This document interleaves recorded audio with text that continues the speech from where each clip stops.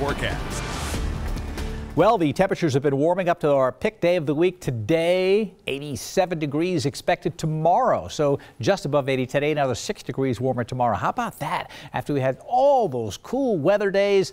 And then we're going to have those cool weather days come right back in for the weekend. We will drop some 20 degrees. The temperature drop is almost guaranteed on Saturday. And then on Sunday, uh, several degrees cooler. The question mark should be, will we get rain and where will the rain fall? I don't think Saturday is going to be that bad. Got a 20% chance of showers here, but much of the daylight hours in the valley, and the sun comes out this time of year, even with temperatures in the 60s, it can be just amazing. And I think we're going to have some of that weather. The best chance for rain on Saturday is likely to turn out to be the evening hours. And don't forget, we have some thunderstorms coming in tomorrow evening and tomorrow night. Could be some late night thunder bumpers with the flashes of light in the midnight sky. On Sunday, a chance of some showers in the morning, and there's going to be more widespread rain showers and snow in the mountains on Sunday, but the valley still may have a little bit of a hole over it where there's not too much going on, but a chance for showers. We'll see a few showers Sunday and Monday, and then the warming trend starts with some very pleasant conditions coming in as we move through next week. Could be 80 degrees by next Friday.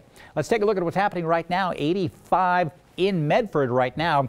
80 in Boise, 82 in Rome, all across the west, even up to Yakima and Seattle are at 80 degrees. So the warmth has been pushing up into southwest Canada and finally spreading to the east. Pocatello a little cooler at 71, but that warm weather heading on in. Are you going to McCall? Do you live in McCall? I was looking at the webcam. so people were playing uh, volleyball on the beach there uh, just a little while ago. And here we are with 70s again for Friday. Big changes, though, coming in at night. Could be some thunderstorms overnight into Saturday morning. Maybe some morning showers or a thunderstorm overnight a 50 degrees. So 23 degree temperature change for the high temperature Friday to Saturday, and we drop it another 6 degrees or 4 degrees now down to on Sunday uh, to 46. In the morning, though, could be snowing out. So a huge change in the weather if you are headed up to McCall. Get ready for those changes. And the changes coming in from the south first, clear over southern Idaho. These thunderstorms forming to the south, they're pushing to the north, and tomorrow this will redevelop here and then push up and towards the evening and especially midnight. This region here has a good chance of some thunderstorms moving on in. In the meantime,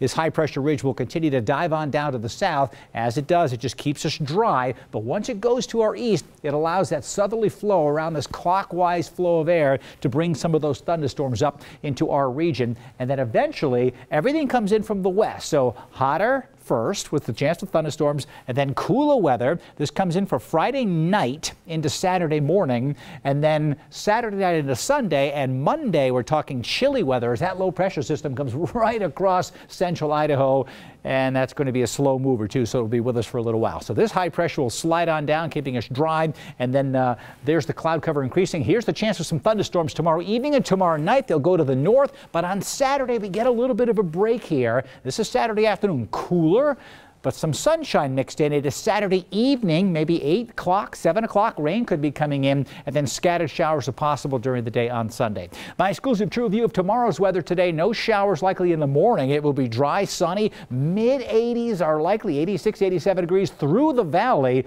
Partly cloudy with a chance for those evening storms, and some of those storms could bring some very gusty wind and blowing dust because of the, the newly plowed farm fields. And so watch out for isolated gusts in the evening to 40 miles miles per hour. Temperatures in the 70s in Long Valley, 85 in Riggins, and an amazing day coming up in the Stanley Sun Valley area with temperatures in the upper 60s. My extended forecast, the cool down of 20 to 25 degrees over the weekend, but we'll get some sunshine mixed in there, especially on Sunday. Keep an eye out for the potential for some severe weather late tomorrow night, but most of the day tomorrow like summertime.